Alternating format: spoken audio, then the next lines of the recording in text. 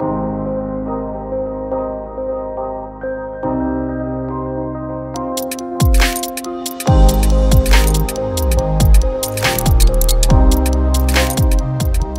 everybody doing?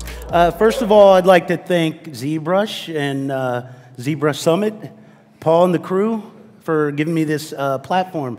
This is an amazing opportunity to show some uh, what I think is cool work anyway um, on a bigger scale. Um, what I do is toy design, uh, product development, a lot different from gaming and what some of the guys bring to the bring to the whole entire uh, thing here, the whole, the whole show. But uh, it's, it's, it's also a huge niche in what ZBrush is about. You know, ZBrush is available for so many different things and so many different, uh, pro- not, not just products, but movies. It, it, it's, it's everywhere now. So this is just my little thing that I do, and I want to give you a little, little taste of it. Okay. And uh, up here, as you say, it's the art of toy design, but I'm, I only got like a s- small amount of time, like an hour, so I'm going to focus on what I think kind of made me stand out, and that would be my uh, presentation. Presentation, realistic modeling uh, of, of action figures, and the, the idea that someone would see an image and not know if it's something you can hold in your hand, if it's a viable physical object, or if it's something that's, you know, fully rendered. You know, the biggest compliment I can get from this work is when somebody says, Hey, where's this available? I want to order it right now. But honestly, these are only um, digital images, digital. It's all digital, you know, and, it's about my rendering and it's about my process, and that's what I want to share with you guys a little bit today. So I'm going to sit down real quick here. Okay.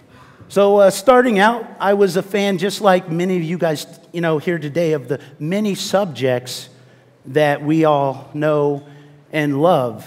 You know, I was a typical 80s kid, yeah, 80s, growing up with uh, all that fanboyism that, that built into us. That, that's why this is such a thing, because all the amazing things we grew up with, you know?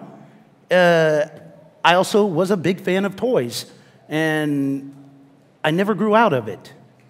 I never grew out of it. And I, am sure there's many of you that never grew out of it as well.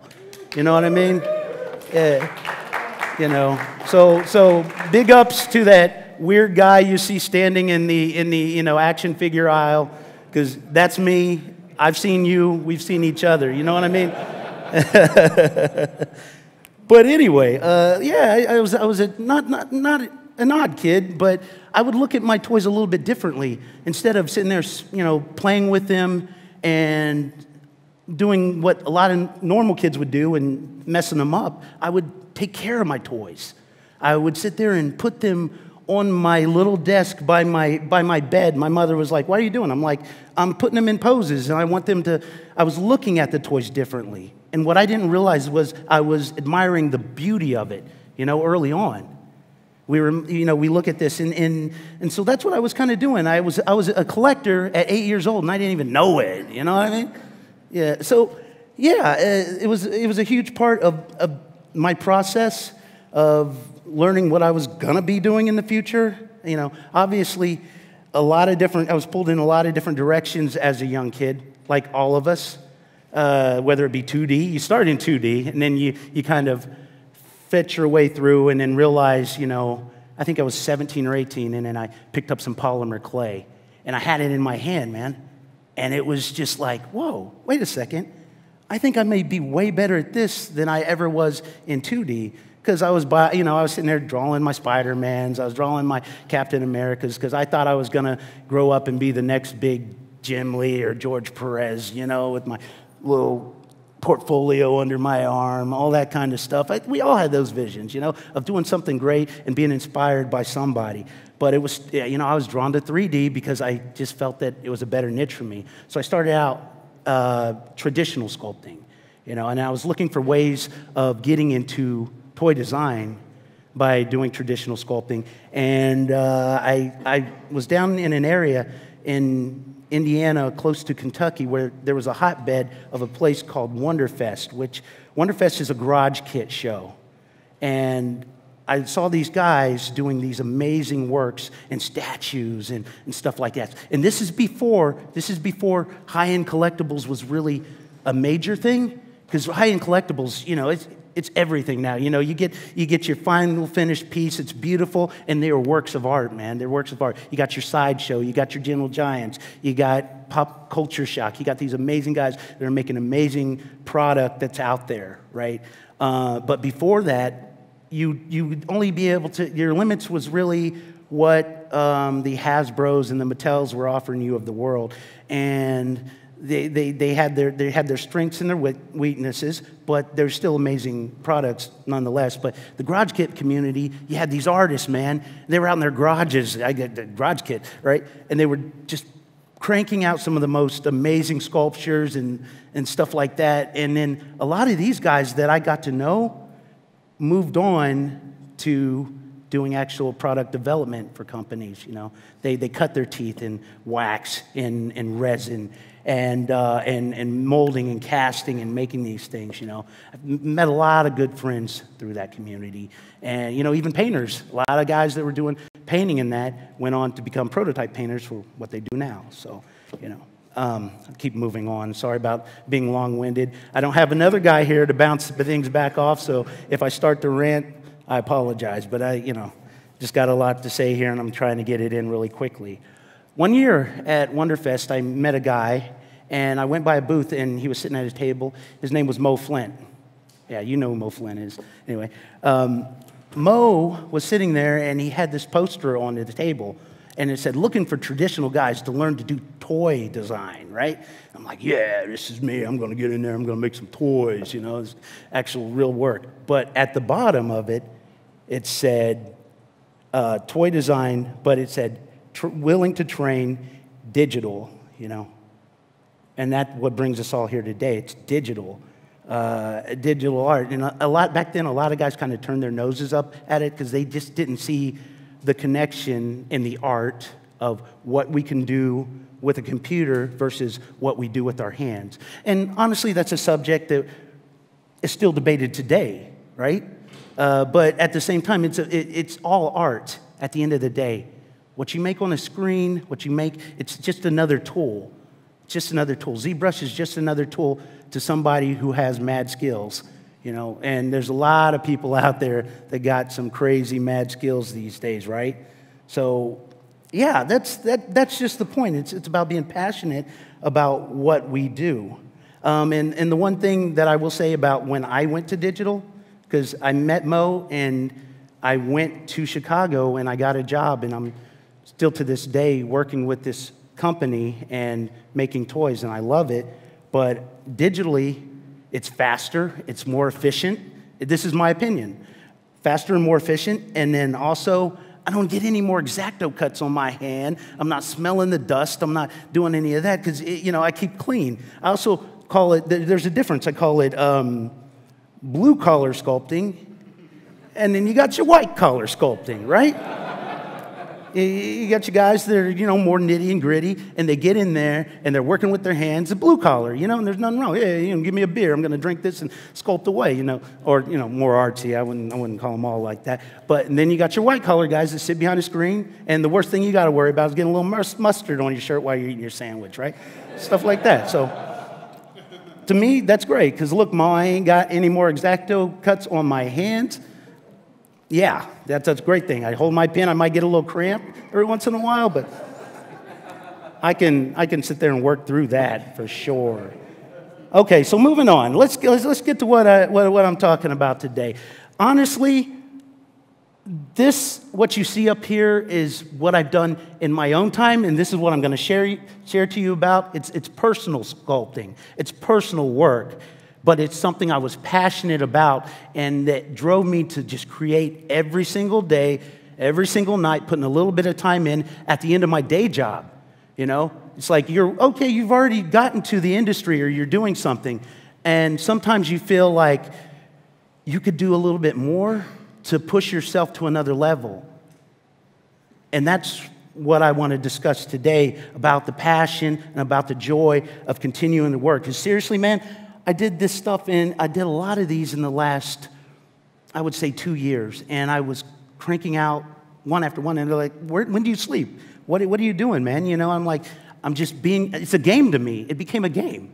You know, you know, you got a lot of gamers, right? Uh, obviously, a lot of gamers here. And uh, you can sit there and, and, and game away, or you can create. And it can become a game to you. And you're like seeing how far you can push yourself to that next level, you know? And that's what I enjoy about it so much, you know, because you keep pushing and you keep pushing. It's a beautiful thing. It's a beautiful thing. So, I'm going to hop on over to this seat and start switching over. So hopefully I'll peek around and you see my head a little bit. Um, what I said was I went to Chicago and then I got into a business of creating for a company called Creata. And what Creata does is creates uh, McDonald's Happy Meal toys, right? Millions upon millions of these toys. They're huge, they're everywhere. Uh, I, I, like to look at it this way if, if you've got a kid between the ages of 5 and 15, at some point, because I've been doing this the last eight years of my life, at some point they've had one of those little toys in their hand, and I work with an amazing team of developers and designers. And the great thing is, at some point, one of your kids have had that in their hand, and I, you know, I'm at peace with that. It, it's, it's a great feeling to know that I had a, a, part of that because McDonald's is actually a really huge business. Uh, let's see, I have some, I have some numbers here. Uh, three to eight million units per toy design. And that's just in the United States. Globally, even bigger. Three to eight million units. It's a lot of toy. But the problem is, you also got to worry about all the different things that come with these toys. Uh, let's see, safety. Safety is huge. It's, it's, it's a huge thing with this. The high safety restrictions. Um, also, they always have to keep the costs very low. So this isn't high end work, it's not glamorous. Yeah, I get to work with a lot of licensors and a lot of different companies and a lot of movie companies as well which is great. And you get to see the good side, the ugly side, the beautiful side, all the different sides. But at the same time, there's a lot of restrictions with what I'm doing. A deco count, even. You know, you pick it up and you're like, ah, it's just a Happy Meal toy. It's only, it looks blah. No, uh, you have maybe four or five decos maximum, you know, on, on a toy like this. But you try to do your best because this is the industry that you're in. It's commercial design. It's not an artist-driven design. You can't project yourself onto a, a, a, an actual product and say, no, this is my way, because you're doing it their way. And this, this relates to not just toys, this doesn't relate to just product development. It's the movie industry, it's the gaming industry, it's any industry. If it's not your work, then you're doing the best job you can to make the client or make, the, make your company happy, you know. And that's where I kind of, I'm, I'm going to speed through a few more of these simple little designs. That's where I kind of, uh, decided at the end of my day that I wanted to kind of do something for myself. You know, uh, Hello Kitty, a, a, lot, a lot of different, a lot of different items here. What I started to do was realize I wanted to start creating for myself and start making some things and you know have some fun with it.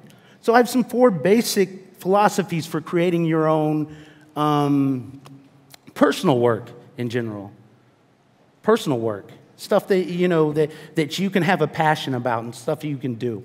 And the, the number one is to stand out right? And i'm gonna i'm gonna just go through these. Stand out style do what works for you and enjoy right?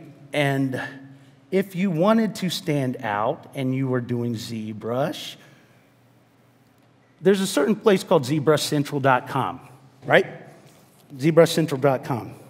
And if you ever been to ZBrush, I don't know who's been there, but I think everybody has. Yeah, you've been there. Yeah, yeah, you've been there. You've been there? Okay. Yeah, if you look up there at the top row, right? Top row. Top row is where you will see the most amazing, outstanding, astonishing pieces of works of art from every, st- every single viable way of, of working in ZBrush. It, it's amazing stuff stuff that evokes passion, stuff that evokes you to be better at what you do, stuff that's just downright humbling. You see this, and you know, I, I go through this on the, you know, sometimes every other day, sometimes weekly, but I have to check it out because it drives me to be better and drives me to what, what I want to do. And that's what standing out is about. All these people that you see up here found a way, their own way of standing out. So that's what we need to focus on as being creatives ourselves and working with our own personal work. We want to try to stand out. Say, for instance, there's a Wolverine, right? You know, just you, you go up there and you see this amazing, like I'm, I'm a huge comic book head, so there's, a, there's this amazing gnarly Wolverine and he's clenching, he's got claws out, you know, hair flowing back, right? He's got some, you know, a little bit of food, food in his teeth, stuff like that, but it's hyper realistic. Most amazing Wolverine you ever seen. But you're this guy just now starting cutting his teeth in ZBrush, and you're like, I got to get noticed like this guy that just did this Wolverine. This is just simply amazing. Well, are you going to copy that and do the same exact Wolverine? You're going to put a little spin on it, change it up, and make it your own? That's where style comes in. That's one thing you could do. You can change up the style to make something your own. That Wolverine, you can kind of uh, develop it and hone it into your own thing. Don't go out there and do the same ultra realistic thing you just saw, because honestly, when you put it up against that, even if you're better than the guy that you just saw the, the work from, you might be 10 times better, but now there's two, right? And when you're looking at one and two, it's kind of like which one's better, and then one's kind of just kind of like fade away a little bit, right? And you don't want to be that guy. So change it up and stand out in a different way. So style, style is going to be the way to do that. You give them some your own personal twist, personal style. Um, let me go ahead here. Sorry, I do have notes because I was trying to stay in order with what I'm talking about. Um, and then we are going to get to a few questions. I'm not going to just run out and not not give you guys time to say something. And also, I will actually open up a model. okay, with personal style, one thing I will say is if you don't have one, take what you're into, take what you're passionate about. Personal style, you can, you can look into the great big world of inspiration and you can pick, right, from each one of these little things that you're into, whether it be something like Wallace and Gromit, which is more of a you know claymation style, or Bruce Timm, Batman animated series, clean, swift, hard edges. You know I'm talking about. Bat, you know, it's amazing work, right? Frazetta, Frazetta in his paintings, just Tim Burton in his quirky style. You take little bits, you take all those little bits, and you just dump it into a great big bowl, and you start mixing that bowl up. Wait, I, I mix like this. I'll change it up. So you're mixing like that, and then you dump that out and you got something for yourself. And then everybody's going to say, well, I see a little bit of this and that and this and that uh, from them. But it's not stealing, it's just, it's, it's, it's a continual process. Even these guys that I just mentioned, they were all inspired by somebody else. Inspiration comes from inspiration, comes from inspiration, comes from inspiration, so on and so on, etc. You know, everybody's inspired by somebody, and you can see little elements of people's stuff. So that's what I have to say about style. The next one is do what works for you. And this is what makes ZBrush so powerful, right? ZBrush is totally freeing now. Maybe back in ZBrush 2.0, not so much, you know, but ZBrush, ZBrush now, there's so many roads you can take. So many roads you can take to get to where you want to be. Matter of fact, it's downright astonishing what you can do because you got your Z spheres, you got your Z remesher, you got your Dynamesh, you got your Z modeler, right? And all these roads are ways you can take to get to where you want to be, and there's no wrong way now. There's no wrong way to create a model. You know, I mean, you do have your certain restrictions based on what your structures are and what you're doing, but you can always find your way back with ZBrush. You can dynamesh and then, then you can remesh and then you, you know, and so on and so forth. So you can bounce around. You can go old school and Z-sphere the whole bad boy and then go in there. There's no wrong thing. It's, it's, it's how your end product is. You know, it's your end product. And also, say if, if you're in the gaming industry and you have to have your, you know, I, I understand that, um, which is another thing I do want to touch on. Uh, what I do with production, with, with product development models, it's like taking a gaming model and flipping it on its head.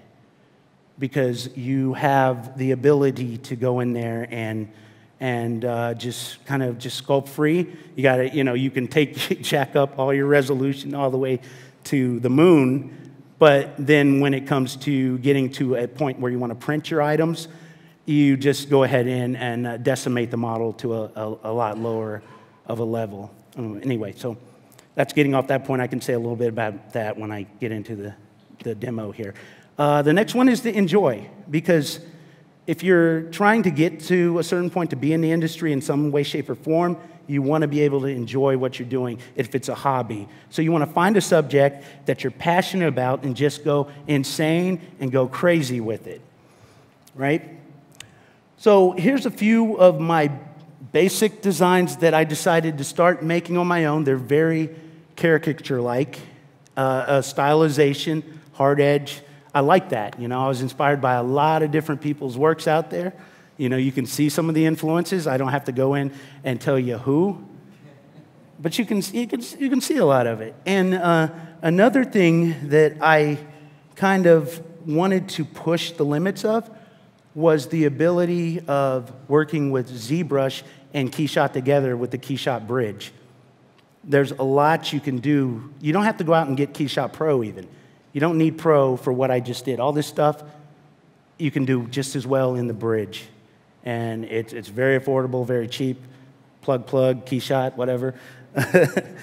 okay, so I was able to take these and then make them like you would hold them in your hand. And uh, that's, that's what I wanted. That was the final render I wanted. Uh, now, do you do a lot of sound effects when you're doing these? What's that? Do you make a lot of sound effects when you're sculpting? When yeah, bam, bam. No, a lot of times, and I know all y'all are this way too. When you're like working on a certain uh, licensed character or a certain just element anyway, you hear that song in your head and it won't go away. You know, some guys even go as far as playing the soundtrack. You know, if you're doing Batman and you're, you're playing the old school, da da da da da da da da da da da you know what I mean? Da da da da, and then you're sleeping at night, just like da da da da da da da da, right? It just won't go away. I was enjoying every minute of what I was doing. I'd go home and it was it was just, I, I got to sit down, I got to sit down, I got to create, I got to create, I got to make something, right? What am I going to do this week? Ooh, ooh, so many subjects to pick from. Uh, I act like I was my own toy company.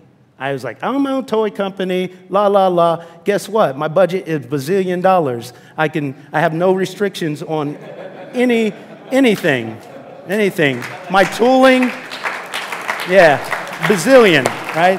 Budgets, I out the window, right? You can do that. It's your own little fantasy land. That's the great thing about ZBrush. You can do that. You can pretend and stuff. And if you get noticed and you get some of this stuff out there and people like it, you know, makes, oh, look at this perfect timing, makes your heart beat. right? Uh, so I'm having fun, and that's all I was doing. And then it, it caught a few eyes, and that's why I'm sitting here today. Uh, I planned it out like I would have additional hands and additional weaponry, you know, and I could like, oh no, if, if somebody told me, oh, how does that, does that you know, knife come out of his hand. I was like, no, it's in an actual hand. You just unplug it and put it in, you know, and I made all the joints that way, you know, with, with, with, with what I was doing. So, like I said, no, no budgets, uh, no deco, deco counts, I will say, you know, all the, as many decos as I wanted to. Honestly, you know, if, if I sent this stuff to China, they'd come back just, just with, just crying, literally. over some of this stuff that I'm, I'm doing here, you know, especially with that jean detail. They're like, what, what are you talking about, man? That's going to cost a lot of money. I'm like, doesn't matter. I got a bazillion dollars.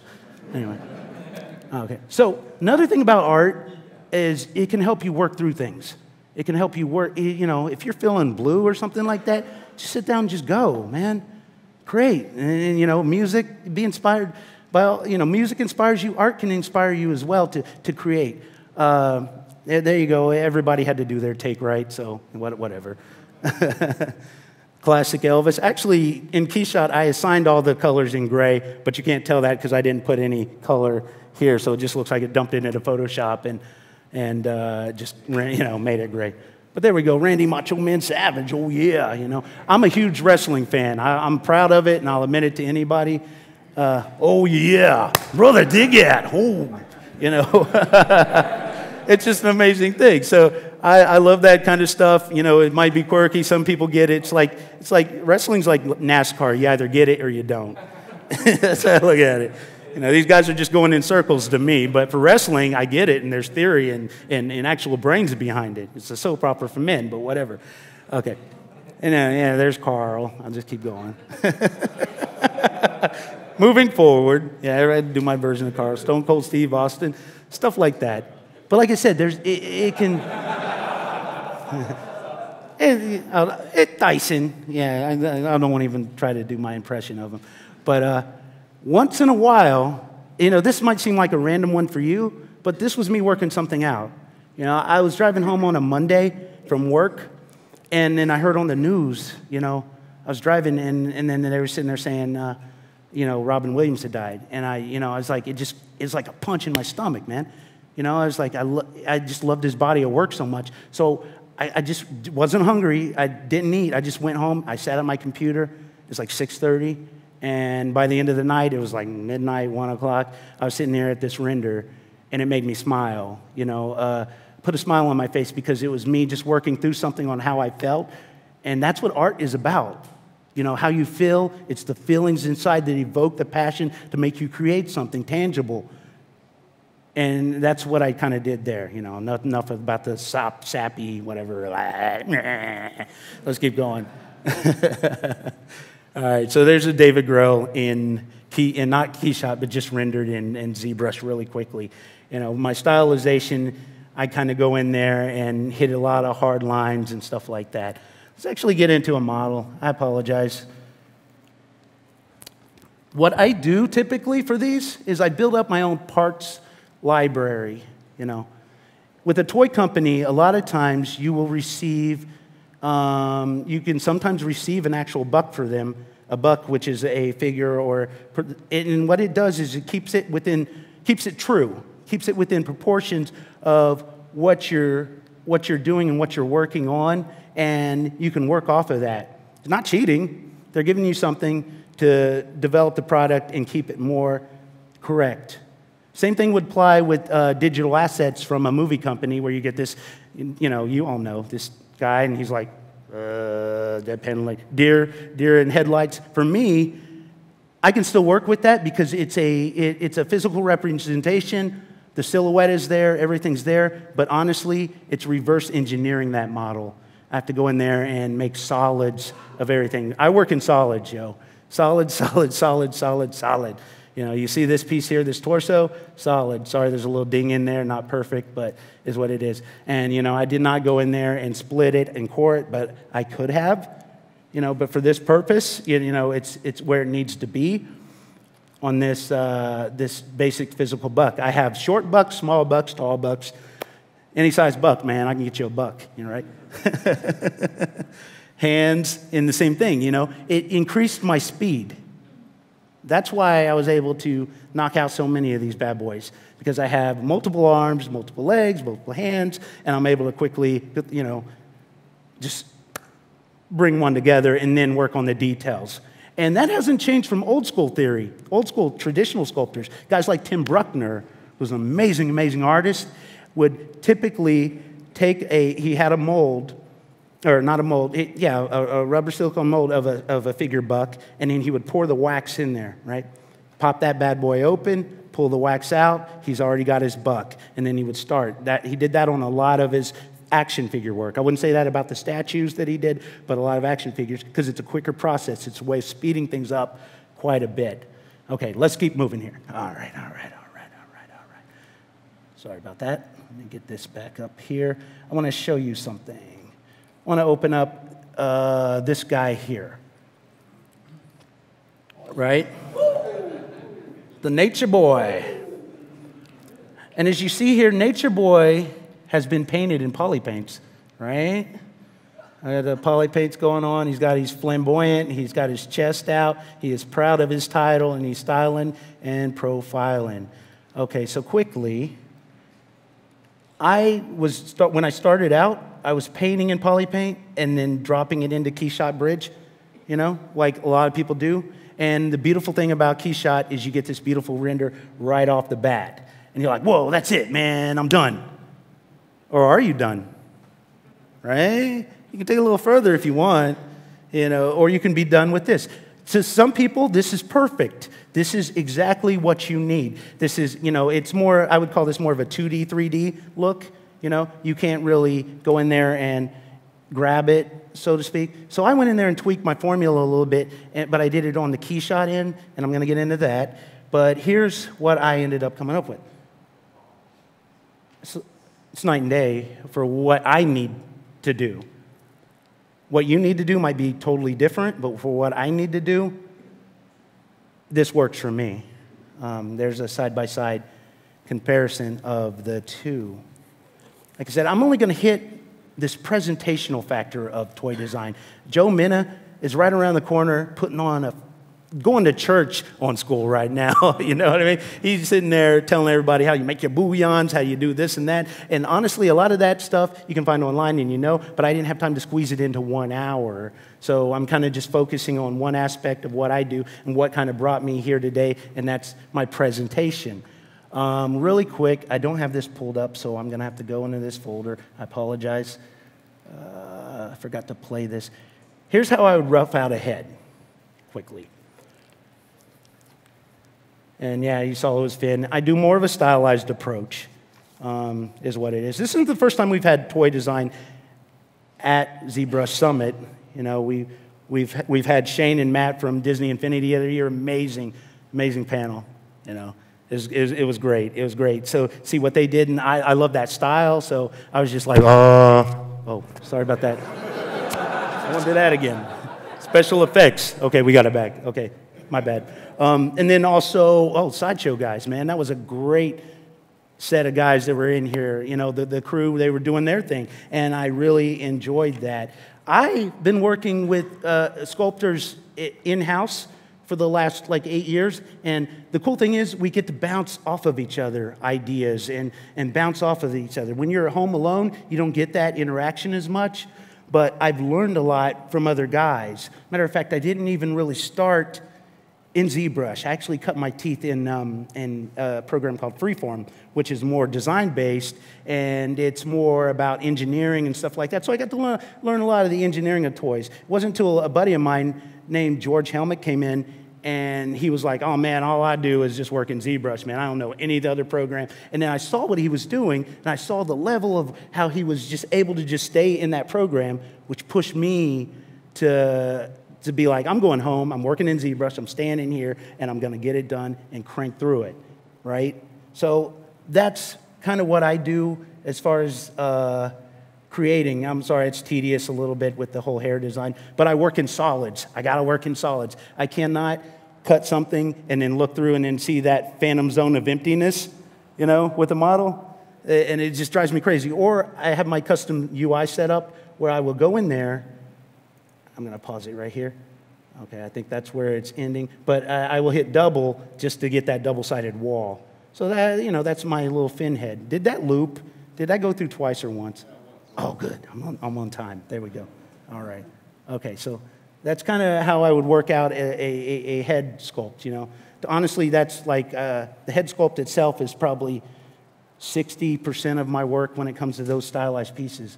Um, one thing that I noticed when I started to get um, more work was I didn't have a lot of time to invest in uh, these, these guys because once I started doing this, I start my phone started ringing. You know, uh, old school phone. No, old school. Hello. Uh, no, I get my old school phone started ringing, and I got some work, so it limited my time even more. So I'm doing my full time job.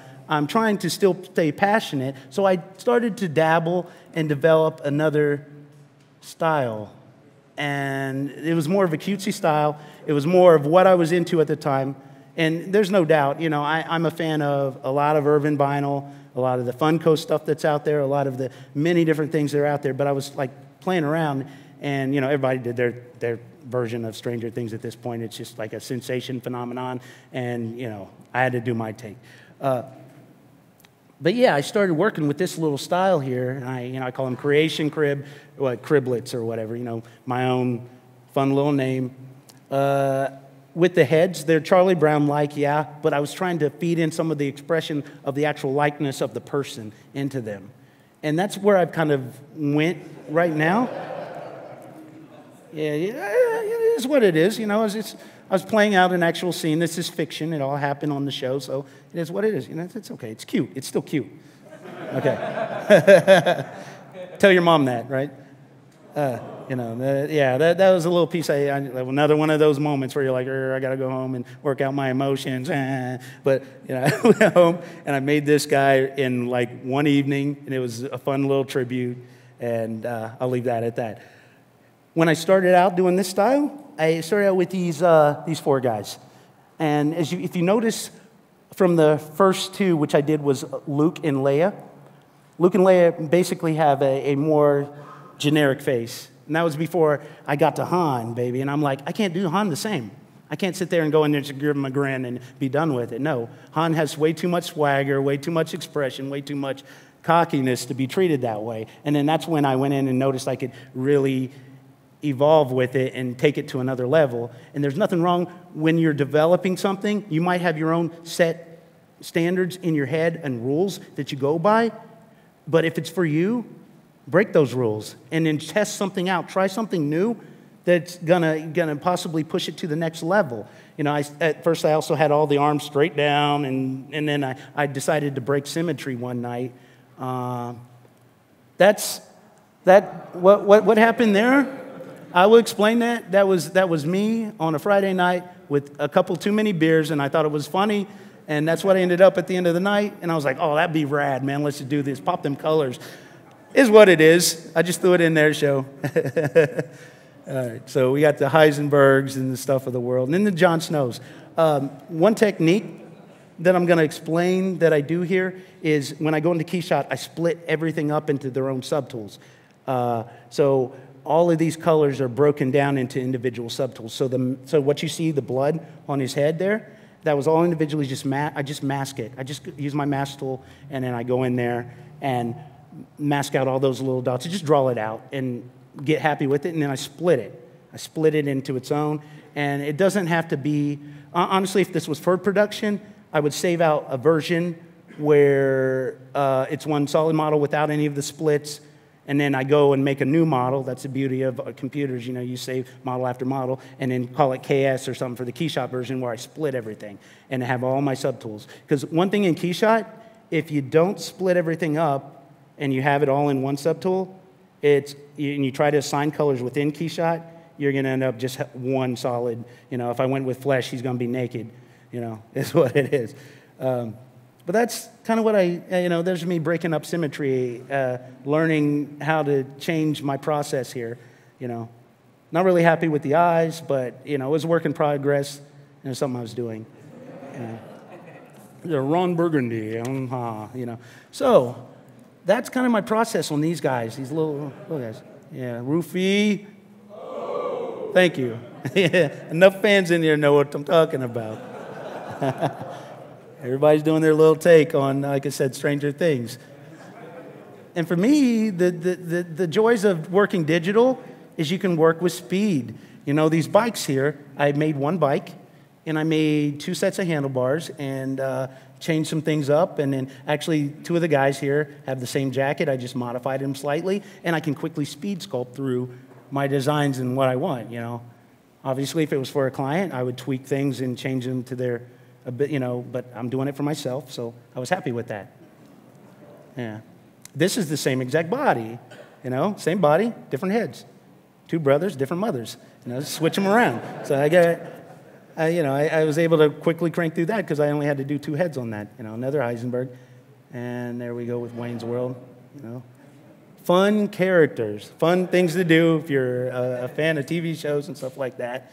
And you know, the sincerest compliment is when you, you post something like that, and yeah, you know, one of the actual actors come in there and like, "Hey, man, I dig that," you know, and they send you a little tweet or, post on something. You know, you never know, and that's always fun when you get a, a compliment like that. So that leads me into what I did there with the criblets. Let's get back into ZBrush really quickly because I know.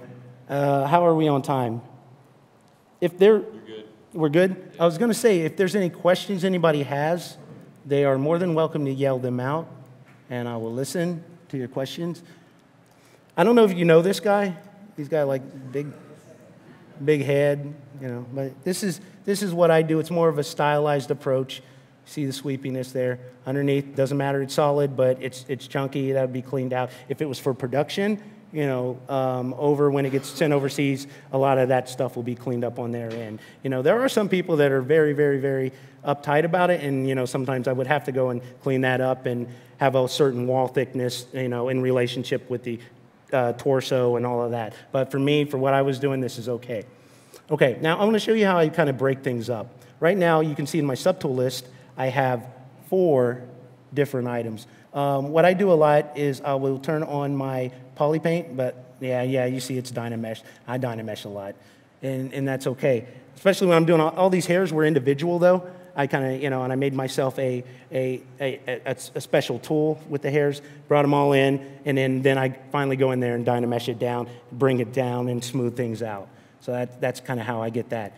Uh, but say I wanted to color Chewbacca. Right now, what you see with the poly, with the poly frame, that's what I'm going to get, just one solid brown. Back in the day, one solid brown would do. But for now, we got multiple washes and stuff on toys. So what I like to do, and you all know the mask by cavity where it kind of goes in there. I'm going to hit it real quick. You see what it does. Mask by cavity hits all that inside area, the cavity, uh, and you get those nice little lines there. What I like to do with my style on these is go down one more to mask by smoothness. Right now it's 140, 142, that's fine. I'm just, I'm gonna hit it and look at that, you know? I got, right now I got these nice little, uh, it, it just kind of reads well on those surfaces and hits all those edges right, you know? And I could go in there, clean it up, sharpen it, blur it, uh, redefine it, but for the sake of speed, I'm just gonna hit group mask It's kind of hard to see what I just did there because the colors are too similar. So don't look at this real quick. I'm going to change it to a different color that reads a little better. It's opposite from what I have. There we go. You didn't see that. Okay. So now I got this Chewbacca that looks like it should be on a um, black light poster. Uh, but uh, you, you see it's broken into two different um, colors there, and, but it's still within the same subtool. I set up my custom UI for speed and efficiency a lot of times. And I will go in there now and I'm going to just, uh, you know, control shift click on it. And then uh, if I don't have any stupid, it's not stupid, but geometry, sub, sub D levels, like if, I, if I've already gotten rid of those, I'm going to split it. So I split that guy, right? And I have it in two different layers. So now when I drop it into Keyshot, I'm going to have my main fur area. And I could go in there and relabel and rename these things because the great thing about Keyshot uh, Bridge is when it goes in there, it will say ZBrush in the front of it and whatnot, but it will still recognize the names. So you, you, know, you can use your cherry picker to pick apart or you can go down your list. Um, but that's a lot of times what I do when I'm splitting those out. Quickly, I'm aware of time. That's my finished Chewbacca. See, what I did was I, I didn't just do one layer, I did it multiple layers, and you know, it's as far as you want to take it, man. You know, you can just keep you can just keep masking after masking, layer after layer, splitting after splitting, but you just got to organize all your stuff. It May seem a little tedious, but honestly, if you work with that workflow, it becomes really quick, really fast, and you can get great results. And honestly, this is another job in the, in the product design um, industry now. It really has become one. Um, these, type of, these type of images you see up here, they're selling points. You can literally uh, make a model. I'm, trying, I'm like half squatted. Um, you can literally make a model now, and a company will use it as solicitation. They say coming soon. You know, it's all about speed uh, in the end product development industry. It's all about speed, it's all about getting things done quickly and efficiently. And you can literally take this image and sell it into a company. You're like, wow, I'm going to get that in a, in a year's time from now. That's great. Where do I sign? You know, and it's realistic. You know, it, honestly, some of these washes might be a little bit much, but if the company comes to you and says, oh, dial that back again, you can do that in Keyshot, dial it back, and then literally have what you need at the end of the day. There's him and Mr. Solo. Uh, and there is a picture of him being mashed out entirely. And I was just doing a test, looking at it, seeing how he would look fully rendered and uh, not, not rendered, but mashed out. And I'm like, yeah, I kind of like that look. Let's go with it. Um, but that's what I do there.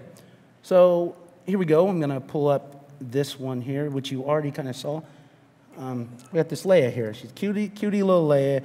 She's really simple and cute. I'm going to go ahead and go into Keyshot now. Let me see, how many tools do I got? Checking out my parts, everything's there. I don't even got to label it at this point, but I'm gonna, the way you get to Keyshot, since this is also about explaining a little bit about what you do, right? Uh, you go to render, you go down to external renderer, Keyshot, you hit that button, and then you, uh, sometimes auto merge is turned on. I usually typically turn that off because I don't work with that. But uh, I hit Keyshot, and if you buy the bridge, then you go back over to your BPR button, which typically you would hit just to get a nice pass and see how your model looks, you know, rendered with the shadows, right? Now it's going to do something different and open up in Keyshot, which is where we need to be. Next, Keyshot, where you at? Where you at? Anybody have any questions or anything? Any questions? Yes, sir. We got, we got one. Hey. Uh, hey. So once you're in Keyshot, do you ever like see how the light is behaving like on your edges or your surface, and then like step back a second um, to like, sort of rework it just based on what you're seeing uh, at the render time? As a render time, yes, I do sit back. I'll sit back and let it do its thing. Some, is that what you're saying? Oh no. So like I'm asking like once you're in Keyshot and you're setting up your lights and stuff, do you ever see something in the model that you're not liking how it reads, and then go back to ZBrush to work it again? Yes, yes. And uh, that's, that's the thing. Um, one thing I will show you with the menu is, uh, well, let me find the menu. Uh, where's my menu? Oh, my menu's just down here. There we go. Okay, so I have all these little, no, that's materials. That's all these little pieces. There we go. Sorry, I'm not used to 6.2, and you guys are so fancy and above, you know, always the top. I've been working in six, you know. been working in six. So it's okay. I can still get what I need to get done here. Um, what I'm going to do is go over here to import, if I can import it really quickly. And I'm going to go to desktop, ZBrush Summit stuff, that's mine. Material package, that's mine. I'm just going to import my colors real quickly, if I can, if it'll work. Paints, plastics. Sorry about that. Hard surface. For the sake of speed, I'm going to do something a little bit differently because I don't know where my, my, my colors went to. But here's one thing I don't like the particular set of lighting that it brings into the model when I drop it in there. For some people, like I said, this is just fine. But for me, I drag and drop, I get my colors. I would typically go in there and finesse my colors, just uh, checking out. I, what my process of working in here is pretty dumb simple. I know there are a lot of different things you can do, and you can actually render something with passes. And I've rendered passes and stuff, but for me, I don't really take it. I don't really take it into uh, Photoshop most of the time. If I did, if I needed to, I could. But for my purposes, I usually set up a nice lighting and I get it to where I need it to look and I go from there. Um, this layer is So going to be got, a about, little you got about 10 minutes left. Okay, we got 10 minutes. Okay, I'm going to crank through this Leia here then. We got Leia. She usually don't have black hair, but I'm going to give her black hair today. I'm also going to give her black eyebrows, black suit, and a black there. And cool thing is I can also right click on a on an actual area uh, uh, that I've already selected, and I can copy the material instead of going to this list of colors, and I can paste it in, right? On her hands, boom. So I got that in there. Um, I'm gonna go with this here. Sorry, this is kind of impromptu because uh, I typically had a material list of my own, but it, it's okay. For the purposes of what we're doing, I'm gonna speed this up, and I'm gonna show you something. So, here we go. Let's make these black. Make them shiny black, kind of like her eyes. Copy, paste right there. And we're going to go into lighting environment. I'm going to change this to a darker lighting of my own. With lighting, you can go in here and you can change the way it looks. You can change everything about it. You can tweak it to your own liking, your own personal, personal, you know, formula. And that's kind of what, what I've done.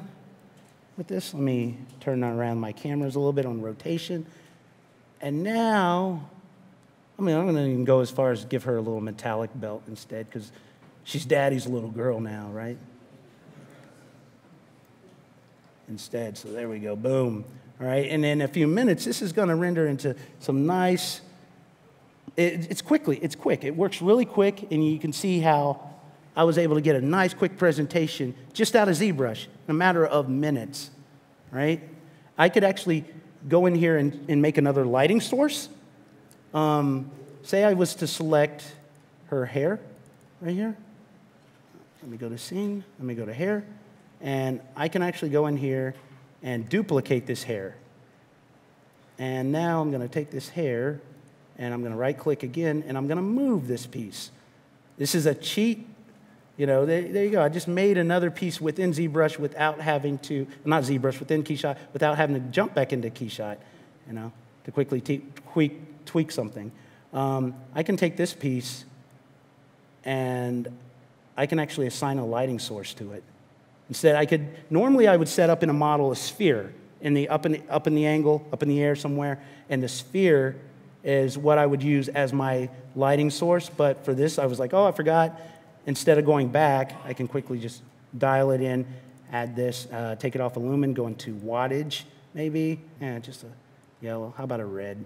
How about like some kind of hard red? There we go. So that's kind of, that is showing up right there, but guess what? It's still showing, but I can quickly click on here and change my tool to where it is invisible. Show only. Well, more or less, usually I, I pull down a list and there's a way of clicking off of here and then making it so I don't see this anymore. Um, but that's how I would create a lighting source. You know, I could, I could make this invisible. I can bring it out. I could blow up the light more. Um, but for this purpose, I'm going to just turn it off and kind of just show you the presentation again. Uh, line it up how I want, ISO view, front view, back view. You can quickly snap in there and do what you need to do. But that's kind of in a nutshell of what I do to present these models and toys. Um, does anybody else have any other questions? Uh, Here we go. He's got yes, five sir. minutes left, five so we'll take these questions. questions. There we go. I'll start with Mr. John Mahoney, and then Jared Kraszewski. Yes, sir. Yeah, yeah. So these are your personal toys. Have any of these been created, 3D printed yet? Or are they have, still in the conceptual? Have they been printed? Or have, have no. they been made? No. Uh, they, these were only my personal designs. Uh-huh. And uh, a lot of them, you know, they're, they're, every once in a while, you know, you do get a, a certain random phantom email from a phantom. It's, it's, it's like in Star Wars where they're wearing a dark veil and they're like, hello, I'm from this company. I want to know how much you would take to, you know, you get that, you get those requests and stuff like that. But it's, it's what they're wanting to offer and, and stuff like that. But as of yet, uh, a lot of this criblet stuff, it's just exploratory on me. And no, they're not signed to any certain company, no. All right, well, good luck. Hopefully they'll be, they'll be in stores someday. Oh, well, thank you. Thank you very much. Yeah. Why are you not printing them, Brian, is what we want to know. Come on, man. Hello, more money in your pocket. Come on, man. Let's Jared's make these toys, right? Yeah. Uh, so, uh, uh, so yeah, two-parter. One is um, no, no two-parter. No two-parter.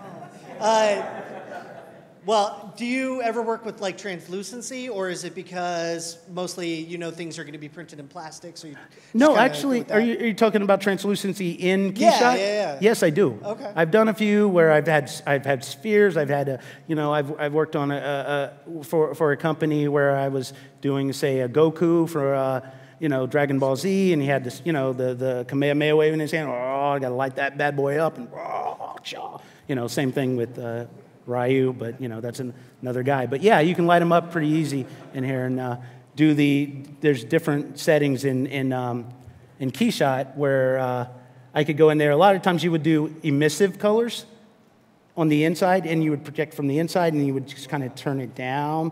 But the problem is, it's only going to come from the outside, and it's just going to light that sphere up. You know, a lot of times I'll take area light for something else, but it's outside of that. You know, you can also cheat by going underneath it or another area where it bounces off of that area. You know, so you can do a couple of different ones and make them invisible inside there, like a phantom. Like it's just invisibility cloak over it, and it works that way. Yeah. And then uh, part two is, do you take requests? Do I take requests? Yeah, I've gotten a lot of that. I just, I have so many in my head that I want to do. I got this list, this list, list. You could just roll out on a giant scroll of stuff that I kind of want to do myself. So I do listen, and if somebody has one that's just so amazing that I can't pass it up, then a lot of times you'll see it made. I think you should put like the five up and do a voting system. Who's that? You should put five up that you want to do and do a voting system. And the people, whatever one gets the most votes, that's the next one you do. Ooh, see, that would work. That would work. Yeah? I saw another question. Oh, look at the look at I the pressure. that would be fun. you go vote. Yeah, yeah. Paul could make up a, a little thread, and you guys could go vote, and then you know, and and, and in honor of uh, you know being here or something like that, and you know, I could squeeze in some time to either do a criblet or one of the other ones for everyone. If everybody voted on this certain one, I could do that. Hey, um, I work with uh, toy mechanisms as well, and ZBrush is great for the sculpting. But do you know a way of taking ZBrush into like a more mechanical uh, package like SolidWorks? I'm sorry. Could, is there a way to take your high resolution model that's in ZBrush Yeah, into SolidWorks? Because you can go the other way. You can go. Uh, You can take it from SolidWorks into, into ZBrush, was really easy. But Yeah. to, to go the other way, I, I don't really know. go the other way into Keyshot or go the other way? to so, SolidWorks. The SolidWorks. SolidWorks. That's more of a question. You look at him. He's like, I know that. I really wouldn't know the answer Yeah, to he that. wants to go from ZBrush to SolidWorks. So yeah. uh, yeah. To make like a, a, a yeah, because he needs because it's got to be converted back to a NURB system, NURB based with curves. Yeah. So it is possible. There's companies out there do conversions for you. Uh, one of them is IntegrityWare. There's you can actually buy a software by them. It's called uh, Cyborg 3D. Mm-hmm. You actually take the ZBrush models in and convert them. You can save out IGES and steps files as well. Yeah. all for you, so you can go that way back into SolidWorks. Because uh, or you decimate it, and then you gotta import through polygons into SolidWorks, and then now redo a conversion. But I don't think SolidWorks has any conversion though for that, Yeah. as far as I know. So you'd have to use another company's software. Yeah. So I've, I've had to in the past use other softwares to make a sol- solids. You're talking solid state, bringing it in and uh, actually converting it. I, I know in, in freeform I can do some of those type of, of things to get somebody to be able to bring it into SolidWorks. So I've done that in the past, but not really with the ZBrush at the time. any last question before we let Brian go? Oh, there it is. Uh, he gets to go sit in the back with Mr. Louis Leather Jacket Tucci. Oh my God! What did I just knock over? A body? Sorry. You're good. Sorry, God, I thought I kicked like my child there for a minute. I'm sorry about that. Where, where did it go? Right here. Hey, this is just more of a uh, comment, but I just wanted to say I really appreciate the uh, inspirational section of your whole first part. Was just awesome to uh, connect to everybody as an artist and a geek and a gamer, and it's super inspiring. So, Well, thank thanks you. for that. Thank you. You know, dude, we're, we're all in this together, you know, and, and making stuff, and we all have literally the same type of things, you know, it's like one of us, one of us. It really is. It really is one of those type of moments with what we do, so I figured I'd bring that up. Thank you.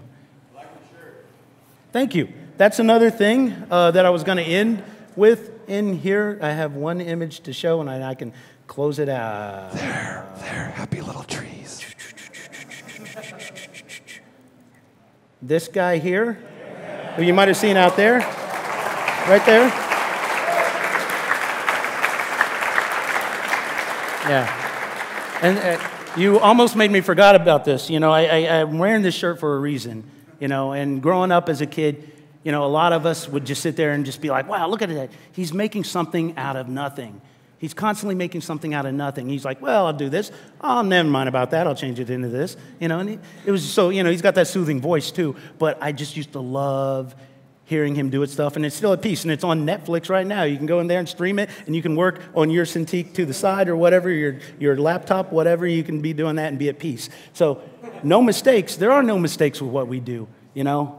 Uh, just happy accidents. And I, I love that quote, and I live by that. So, thank you. Thanks for bringing that up.